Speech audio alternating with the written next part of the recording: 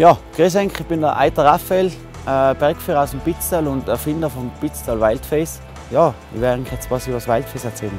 Es ist eigentlich es ist ein Rennen auf Zeit und es findet total im Gelände statt und es, es ist auf zwei Rennen aufgeteilt. Es gibt eine Qualifikation, wo das ist ein Jedermannsrennen, da kann wirklich jeder mitfahren. Das möchte man auch so. Und dort ist die, die Strecke, die Quali-Strecke vom Riffelsee, also vom Hirstall zum Hexenkessel, ist eigentlich nicht so schwierig. Also es ist einfach einfaches Skigelände. Und dort wird einfach ausgesiebt und die Schnellsten kommen da ins Finale. 70 Fahrer qualifizieren sich für das Finale, für das Wildface und die fahren dann die Hauptline. Quasi notzeitig den Mittagskogel 1500 Höhenmeter und fast also 4,6 Kilometer ist die Länge. Hinten der Aufstieg sind ungefähr, würde ich sagen, 300 Höhenmeter bis zum Gipfel.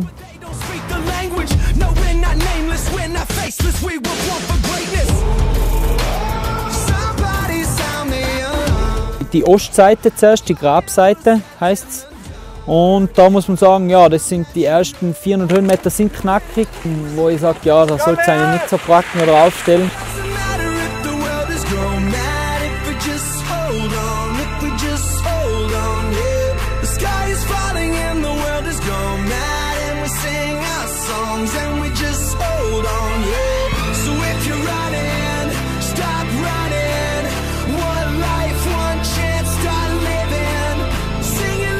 Ja, dann nimmst du die Hauptrinne, das sind auch noch mal ungefähr 200, 300 Höhenmeter, was man da macht.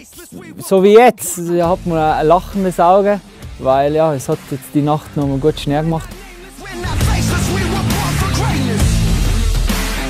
Muss man schauen eigentlich, dass nicht der Ski nachher anfängt mit einem zu fahren, was meistens eigentlich dann der Fall ist da unten, dass du nur noch Passagier bist anstatt der Pilot. Der Berg macht den Spirit aus, weil der Berg ist halt einfach massiv. Das ist das Ganze drumherum. Einmal 360 Grad die Runde drehen und sagen, boah, danke, dass ich eigentlich da oben stehen darf. Man darf mit einem fetten Mittagskugel runterfahren, eine geile Abfahrt und die Leute, lässige Leute. Es braucht lässige Leute, dass eine lockere Atmosphäre entsteht.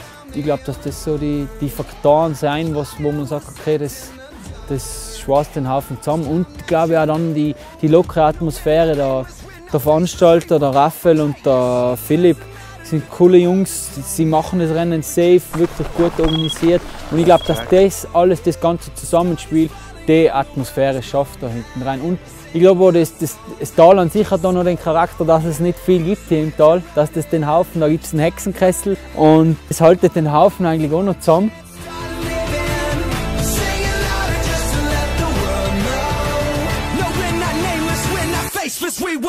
Greatness.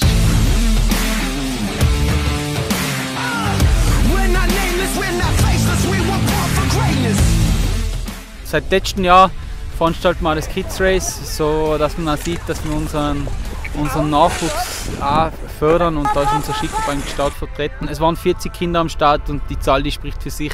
Unsere Next Generation ist schon ready fürs Waldfest. Und das, das Gefühl, dass man sagt, man lässt den Ski lattern, man lässt den Ski gehen, dafür braucht es einfach Skitag.